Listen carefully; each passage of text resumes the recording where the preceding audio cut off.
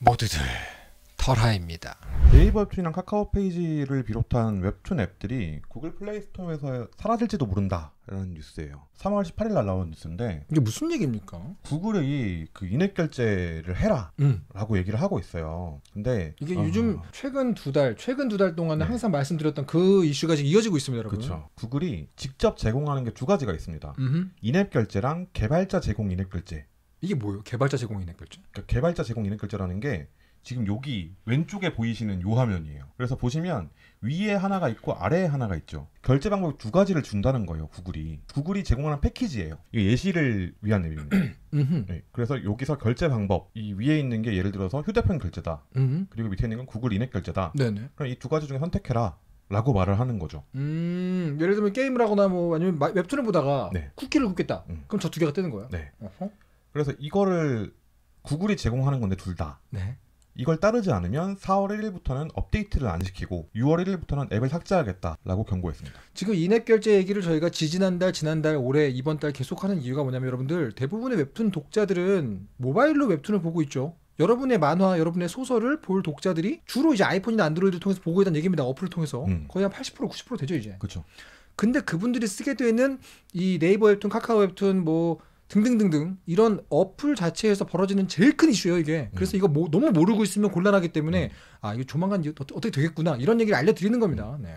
일단 이게 경고가 뜨고 나서 그 다음 주에 티빙이랑 시즌, 웨이브 같은 OTT 플랫폼들이 네네. 가격을 올리겠다라고 공지를 했어요. 그 이유는 저거죠. 구글이 요구하는 수수료를 모두 맞추려니 네, 가격을 올려야만 합니다. 네. 원자재가 많이 들어갑니다. 그렇죠. 소비자 여러분들 돈을 더 써야 됩니다. 이렇게 네. 된 거죠. 어. 그러면 수수료가 얼마냐?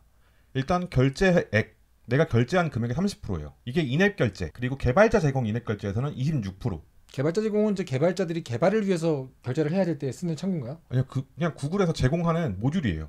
개발용 그 구- 결제용 모듈. 음. 그래서 그걸 쓰면 그 CS라고 그러죠. 커스터머 서비스, 네네. 고, 고- 고객센터 이런 거. 네, 고객센터 같은 거. 그거를 구글이 제공한다. 음. 대신에 우리가 수수료를 받겠다라는 얘기예요. 그리고 환불 처리도 우리가 하겠다. 그래서 일단 OTT들은 한 달에 한 번이잖아요. 그죠.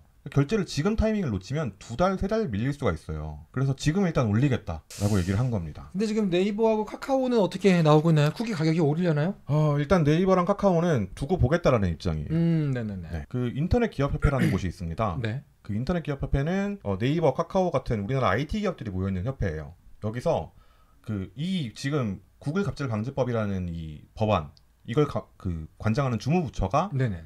방송통신위원회거든요. 이 방송통신위원회에 유권 해석을 요청했어요. 이거 불법 아니야? 니네들이 한번 봐줘라고. 네네네. 근데 유권 해석을 받고 나서 이제 실태 조사하는 기간이 있고 그게 한 2주 정도 걸린대요. 예. 지금 그 기간 중에 있고요. 네네. 그래서 구글한테 일단 위법한 것 같다라고 경고는 했는데 네. 실제로 위법한지 아닌지 위권 해석을 해서 실제로 이제 어떻게 할지는 그 한 2주 정도 지나면 결정이 될것 같습니다. 여러분들 그 종로거리 네. 장군의 아들 네. 김두한 시절 음. 요때 여러분들 아시죠? 그 흔히 우리가 시장에서 시장 상인들 보호해주고 자릿세를 뜯고 음. 뜯는데 받고 조금 한 한 발 더 나가면 조폭들이 네. 조직 분들께서 자릿세를 뜯고 누구 허락받고 여기서 장사하는 거야? 그러니까 그런 이제 협계가 아니면 조폭 네. 그 자릿세를 뜯는다는 게 우리가 많이 알고 있잖아요. 네. 요, 요즘은 그런 거 없겠죠 별로 남아 있는 곳도 있겠지만 정말로 심각했던 때에 시장 상인들이 다 나중내 나중내 하던 때에 그 조직 폭력배들이 뜯어갔던 통상적인 자릿세가 몇 프로인지 아십니까? 저도 이거 들었거든요. 이거 팩트 체크 안 해봤는데 제가 네. 들었던 게 25%예요. 25%. 아, 4분의 1을 내놔라 이게 그 시절에는 우리는 뭐 먹고 살라고 이거의 기준이 4분의 1이라는 얘기예요. 근데 그렇죠. 지금 30%를 나가는 거잖아요. 그렇죠. 그러니까 이게 좀 전 진짜 너무하다고 생각했거든요, 구글이. 네. 그러니까 애플도 마찬가지예요. 지금 30은 너무 센데라고 고태님이 말씀하셨는데 30%는 애플도 뜯어가요. 음 그죠. 대신에 애플은 얘기하는 게 뭐냐면 우리가 앱을 검수하고 음. 이 앱스토어에서 다운받는 앱을 믿을 수 있게 유지하고 하는 거에 우리가 비용을 많이 들이고 있다. 그래서 실제로 개발자분들도 앱스토어 구글 앱 그 애플 앱스토어에다가 어플을 낼 때 굉장히 힘들어합니다. 네, 그렇죠. 되게 깐- 깐깐하게 보고 네. 네, 오래 걸리고. 그래서 이거를 구글은 안 하고 있었다가 이번에 한다 그런 거예요. 그러니까 애플도 결국 똑같은 놈들이고요. 그죠 뭐. 네. 둘다 뭐 플랫폼 사업자들의 어떤 횡포 중에 하나라고 좀 보는데. 네. 음. 그래서 지금 이런 걸 보고서 하는 얘기가 지금 종원 작가님이 말씀하신 거랑 똑같아요. 지대추구라고 합니다. 네. 그 땅값 받는 거예요. 음. 땅에 깔아놓고 땅에 들어와서 이제 여기다가 너희들이 장사를 하고 있으니 그 장사에서 30%를 내놔. 라고 말하는 게 이제 지대추구 라고 부르는 건데 전 구글의 이 지금 한국에서 기업들이 난리가 났잖아요. 난리 났죠. 이제 구글 앱스토어, 플레이스토어 아닌 것 치고 뭐 네. 독자들한테 어플을 판매할 수 있는 방법이 없잖아요. 지금. 그렇죠. 사실상 거의 독과점 시장인 상황에서 지금 이렇게 나와버리니까 네네. 지금 뉴스만 틀면 거의 그 웹툰 산업협회 서문강 회장님 나오셔서 그쵸. 계속 말씀하시고 계시거든요. 심각한 상황이에요. 근데 구글의 반응이 어떻냐면 일단 먼저 왜 이렇게 갑자기 했냐라는 말에 음. 뭐라고 했냐면 어 구글 갑질 방지법 법제화 기간 그거 우리가 인앱 결제 도입을 위해서 유예한 기간이야. 너희한테 계도 기간을 준 거야라고 해서 그랬어요, 자기들이. 계도 기간. 네. 음. 우리가 충분히 1년 반이라는 시간을 주지 않았니? 그동안 안 했으니까 준비 안 하고 뭐 했니? 라고 말하고 있는 거예요, 구글이. 우린 갑자기가 아니야 라고 말을 하고 있는 거죠. 그리고 나서 그럼 이거 불법 아니냐라고 했을 때 구글의 반응은 그러니까 outlink 결제라고 불러요. 이 in-app 결제 외에 바깥의 결제 수단을 갖고 있는 걸. 아웃 바깥에 있는 링크를 가져와서 결제를 하는 거죠. 그건 이제 앱스토어 안에서 쿠키를 사는 게 아니라 네. 다른 링크를 통해서 쿠키를 사가지고 쓰는 거죠, 여기서. 네. 네네. 그래서 뭐 안드로이드 쓰시는 분 중에 결제를 누르면 갑자기 그 크롬이나 이런 거 창 뜨시는 분들 있죠. 사파리나 크롬이 뜨죠, 이렇게. 네. 음. 그걸 outlink라고 불러요. 네. 근데 구글은 이 outlink 결제를 도입하는 게 자기들한테 원래 내야 되는 수수료를 면탈하는 행위, 그러니까 안 내고 있다는 거예요. 음. 니네들이 나쁜 놈들이지 우리가 나쁜 놈들이 아니야라고 말을 하고 있어요. 그리고 나서 선택권을 안 주지 않았냐라고 주장을 하면 구글이 뭐라 그랬냐면 우리는 in-app 결제랑 개발자 제공 in-app 결제 이 두 가지 선택권을 줬다라고 말을 하고 있어요.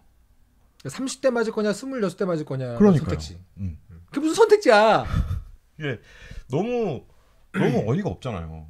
그래서 그렇죠. 일단은 지금 일단은 법정 공방으로 가야 될 것 같아요. 음, 그죠, 그죠.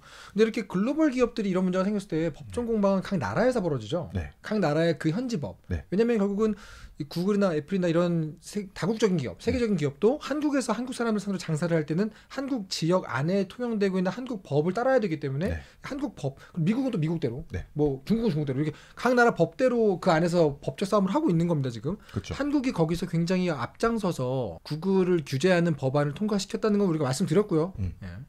그래서 법정 공방으로 가야 될 것 같은데 문제는 법이 능사가 아니라는 얘기를 전에 들었었잖아요. 그죠, 그죠, 그죠.